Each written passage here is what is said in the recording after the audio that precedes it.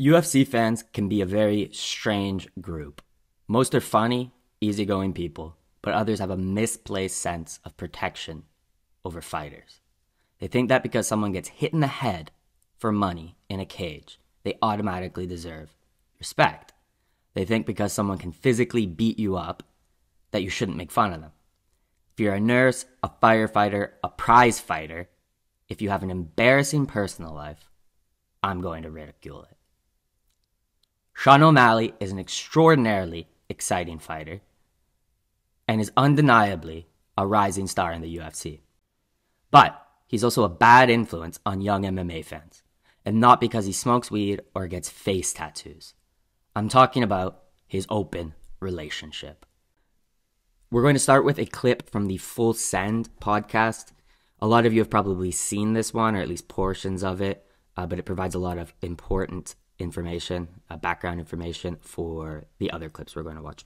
You guys have an open relationship or something? Yeah, I heard about that. I yeah, want to know. I mean, it's it's I know everyone's m- everyone has like a different take on what an open relationship is. I like to think of ours like just an open-minded relationship where we don't own each other. I don't own her, and she doesn't own me.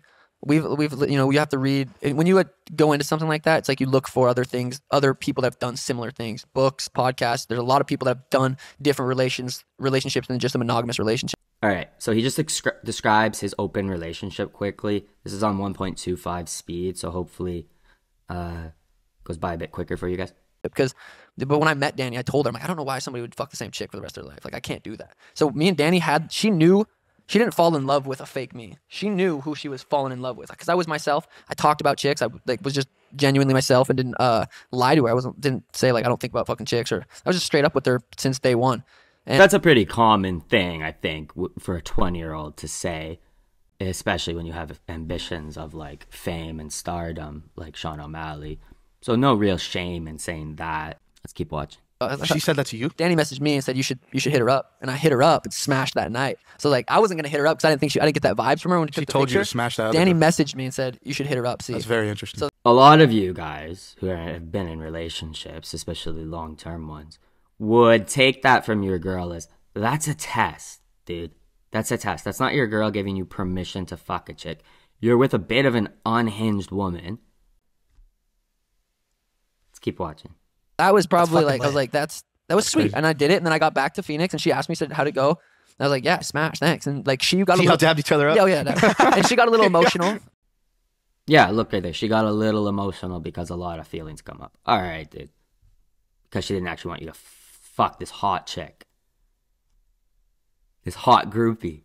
A lot of feelings come up when, when you when you- when you're going through a relationship like that and but that's how we've grown so much together is by doing things like that having those uncomfortable conversations to where it's just hard to even talk to your partner about certain things because you don't know what emotions are going to come up you don't want to hurt the, each other's feelings but you also have to realize you're not in control of each other's feelings Bro, he's literally talking about having unnecessary like marital problems and and acting as if you hear the cope in this entire story. Like you don't need to have that to make your marriage stronger or your relationship stronger. Those are completely unnecessary issues. So do you tell do you tell your girl like if you ever like I don't know if you ever fell in love or like had feelings for another girl that you smashed? Do you tell her that? we broke up at one point for for probably a couple months because I fucked up. I was in Vegas, smashed some biscuits, and and fucking th- you know, biscuits? some- dude. Sometimes that's the thing with me. It's hard for me to put emotion out of it. I smashed biscuits, and I was like, I like her, and I fucked up, dude. Does that happen a lot to you? Biscuits. that's not good. anymore. Uh, Since that since that time, it has not happened anymore. So he's catching feelings for some of the girls he's banging, obviously. And that caused them to break up their open relationship. And you hear the Nelk boys question him, so it's not that open. And he goes, No, no, no, it's just feelings and emotions. Bruh, this sounds extremely healthy. I, I feel like I definitely learned from that and grew from that. But uh, What's Yeah. that phone call like? You got to pick up the phone. You gotta say, "Hey, I just smashed a couple biscuits." it wasn't a phone call. It was like when I got off the plane call. It was tough. It was very so tough. She moved that. out. She moved out, and we went our separate ways for a couple months, and then uh. So it wasn't as open then. No, it was, but it's just like I said, those emotions hard- come hard up. to, but like, that's gonna yeah, happen. It's not get just gonna be like, "Hey, it's been open," and it's perfect. We're gonna deal with the emotions, and it's fucking a lot. It's probably it's harder than anything. Okay, so yes, you're in an open relationship, and it's good to hear Sean actually be a little bit honest in this. You're going to be fucking insecure and jealous, both parties are. So the insecurity and the jealousy that arises in Yeah, you it's real, it's real. is crazy. Has but on the other I side agree. of that is fucking a lot of happiness. I wonder, has she ever told you she smashed another guy and then you guys dabbed each other up? This is really important. Pay close attention to this section. Or was it- She hasn't she hasn't she hasn't smashed any biscuits before, but she told me one time. She because I was having I was I was hooking up with this one chick and and and Danny knew. We had we'd hooked up with her together at one point. So Sean starts banging a chick they had a threesome with.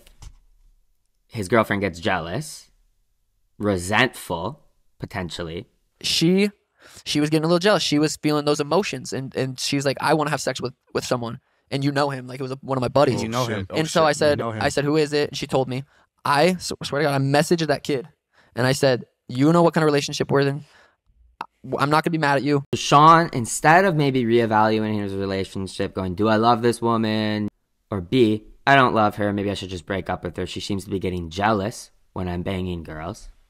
And now she wants to bang one of my friends. But nope, Sean goes, Oh, let me send this guy a DM. Let's listen.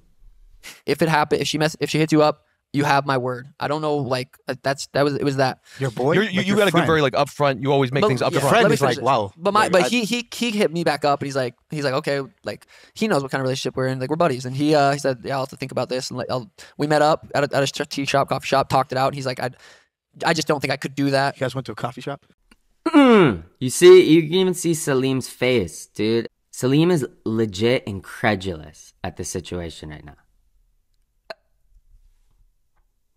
Pay attention to Kyle's face, too.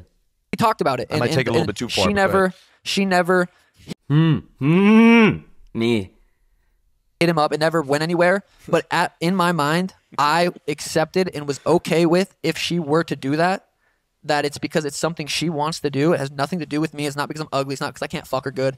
It's not any of those things. It's because it's something she. It's one of her desires that she wanted to Thank do. God, right? Thank God it's not that. Let's move on to the pregnancy clip. This one is insanely wild. I'm going to play pretty much the whole thing, all the important part.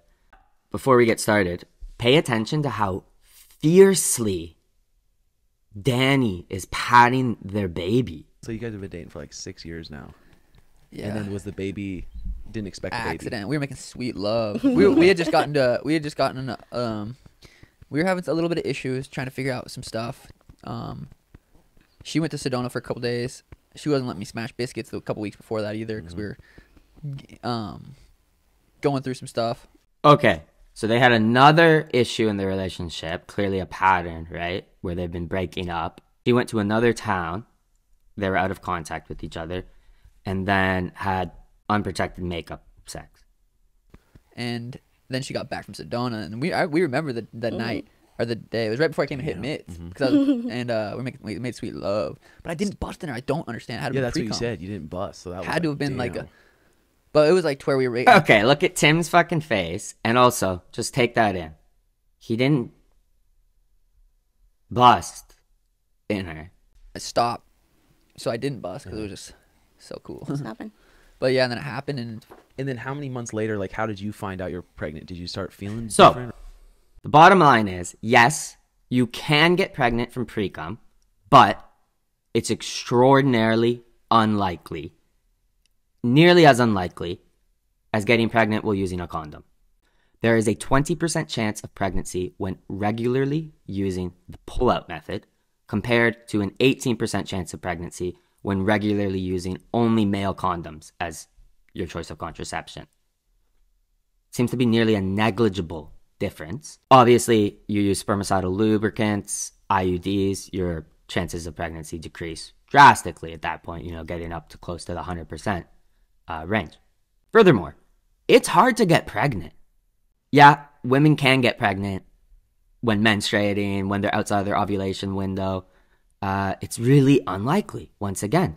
If you're combining those odds with pull out method impregnation, one in five chances of that impregnating you. Those have to, I don't know. I'm not a mathematician, but those odds have to jump to, you know, it's like a one in, it's got to be statistically extremely unlikely to be getting pregnant from the pull out method or using a condom while a woman is not ovulating and when the partner does not even ejaculate inside them, right? Well, I had the jiu-jitsu tournament, so my weight was different. So I thought, like, I was following a strict diet, and I was like, oh, my period's not coming, maybe because my body's changing. Okay. Extremely important. Danny was essentially in a camp, a sports camp for a jiu-jitsu tournament. As she just stated herself, she was on a very strict diet, i.e., not ideal to get pregnant at all. And instead of noticing a month, two months after, when she's missed a period or two periods, not, and not missed a period from an excusable thing like cutting camp, where it would affect your menstruation, she notices 12 days after that she's pregnant and happens to take a pregnancy test. That is the earliest possible window that a pregnancy test can work. And typically, you would only be taking a pregnancy test at that time if you were trying to get pregnant, like a married couple who are actually planning to conceive a baby and the woman is trying to test it. You know what I mean? Because let's look at the dates. That was fe- um, when was the jiu-jitsu tournament? February 15th, February fifteenth, and then which day did we make sweet love? the third. February third. So that was like, Must have been some good love. oh, it was. That was almost two weeks before, and so she got pregnant on the third, competed on the fifteenth, and then what day did you tell me? Oh yeah, she That Friday competed. She after. was like, Okay. 12 days pregnant, not 10 days, but not much of a difference. 10 days, two weeks. Far too early to really notice changes in the body of a woman, uh, for a woman to notice those changes herself, as well as far, like, if you're in a jujitsu camp, why would you assume that you're pregnant from one sexual session? I don't know why I'm speaking like this. You guys know what I mean. I'm trying to make this scientific. Why would you think when your boyfriend didn't even bust in you 12 days before, when you're in the middle of a training camp, that you're pregnant because you're you're missed your period by what? A couple days, I'm assuming at this point, or you had some. She didn't even specify why she takes the pregnancy test. Just that her body's changing. It could have been from the jujitsu tournament. what ten days pregnant technically when you when you competed. So that baby's got some good genes. Because I was in camp, I was supposed to fight Feb something, then whatever. But Sean mentions here he had a fight camp delayed. He was supposed to fight in February, so he was right at the end of his camp. He mentions this. I was hitting mitts and all this stuff. He was sucked out, most likely. Neither of them are at their peak. His sperm are probably low, low, fucking low. He's starving himself to make bantamweight. He's at the end of a fight camp. His camp got delayed, so now he has to extend his fight camp for a couple weeks until he fights at the beginning of March. Also, he smokes weed. That kills your sperm count. I don't care what any of you guys are going to say in the comments. I smoke weed. It kills your sperm count. It lowers your testosterone. Long term chronic use fucking kills your balls. so then you told me, um, That's Friday. because I fought March No, seventh. Saturday. That's when I fought Jose. So you just said, "Fuck it, I'm gonna take a pregnancy test." Well, I had one in a drawer. I bought it a long time ago, and I had to dig through it. Uh-huh. No, you did not. You did not have a pregnancy test in the bottom of a drawer that you happen to remember you had and dig for. Just because a public figure, like an actor, athlete, or fighter, has an embarrassing personal life does not mean it's off limits from analysis, comedic ridicule, satire, parody, or general conversation. Some of you MMA fans need to stop being so sensitive and realize if you're getting offended by the content of these videos and you relate to someone like Suga Sean O'Malley, you need to evaluate your own life. Dime papi. Dime, mami.